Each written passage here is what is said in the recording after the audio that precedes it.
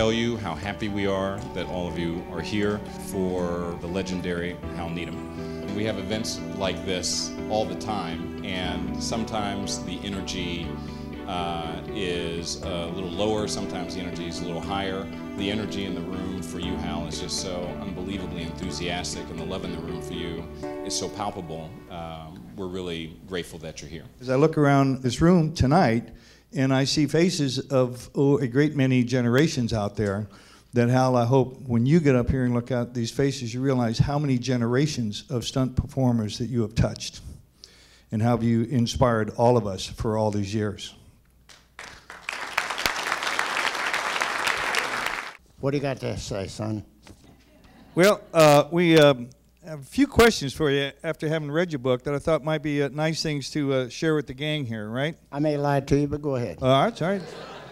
You move out to California and uh, you meet this uh, fellow named uh, Cliff Rose. Cliff Rose meant a lot to me. He was trying to break into Hollywood to be a stuntman. There was a show on then called You Asked For It. And he had done a, he had done a couple of things for them. He's getting ready to do another one.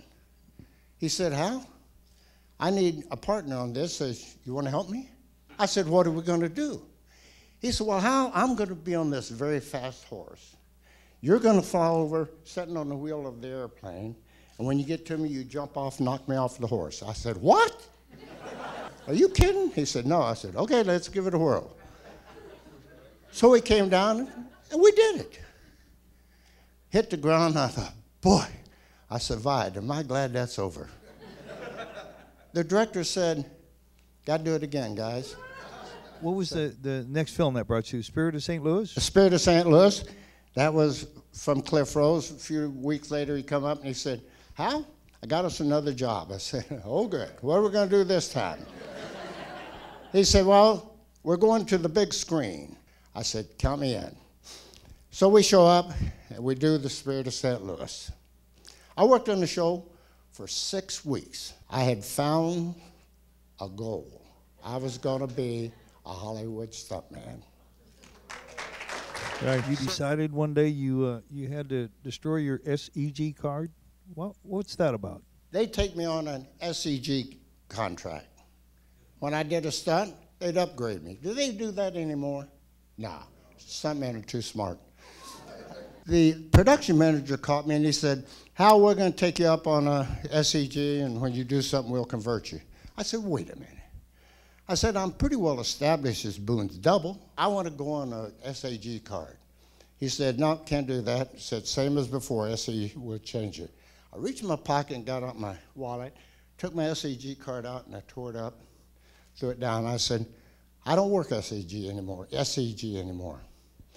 He said, then we'll just have to replace you and get somebody else. He left. I walked over to Boone. He's sitting in his chair getting ready to go into a scene. He said, Hal, boy, we're going to have some fun next week. He says, you're going to make a lot of money. Got a lot of stunts to do. I said, well, Dick, I'm, I'm not going to go. He said, what? I said, the production man and I have a difference of opinion as to what contract I should go on. Do I go on SEG and then change me over? I said, so I, I'm not going. They called him in. He went up on to do his scene. And he said, folks, I got a little announcement. He said, Have Gun Will Travel is going to have a new star next week because Hal and I aren't going on location. he did his scene like nothing was wrong. I looked over at the production man and he went. I went over and he said, You'll regret the day. And I said, Maybe. But I, had, I didn't work one day at SEG after that day. Uh, you know how you ask if they upgrade like that uh, anymore? And they don't because guys like you stood up for guys like us and them. What gave you the idea for Smokey and the Bandit? I was working on a show, doubling Burt, uh, down in Georgia. I think it was called Gator. The driver captain, first day on the set, said, Hal, I brought some Coors from California. Said, I put a couple of cases in your room. I thanked him. He left not knowing I didn't drink Coors or beer. I got there, back home, I put some in the fridge. A couple days later, most of it was gone. So I replenished it, put some more in. A couple days, most of that was gone. I said, wait a minute, I got a problem here. One day I didn't have to work. I got in my car so I could see my in the parking lot so I could see the front door of my room. People came and went. The maid went in, cleaned the room, came out, went next door. Wait a minute. That lady's got a key to my room. Could it be? I went down to investigate. Opened the fridge. Yeah, it was her. I walked out where her cart was, picked up the towels. There's my Coors beer. I got ready for a stern interrogation. I walked in that room and I said, Why are you stealing my Coors? She started to cry. She said, Please don't tell my boss. I need this job.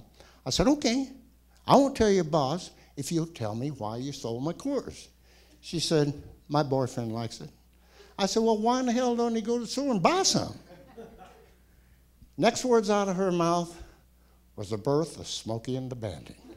She said, You can't buy Coors east of the Mississippi. It's illegal. It's bootlegging. A thought flashed through my little mind. I told her to go back and take the rest of the Coors and promise not to tell her boss.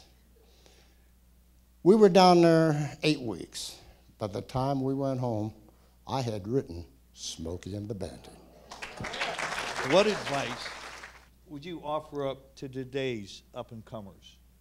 What's, what's the one or two things that any stunt person should have inside them to be a success? Okay, I got two things dedication and practice. Practice, practice, practice. If I had gotten paid for all the stunts I did practicing and all the stunts I was showing other guys what to do and how to do, I would have made another million dollars. So I say, practice, practice, practice. I just want to thank everybody. You've been so wonderful and everything. Thank you very much. I appreciate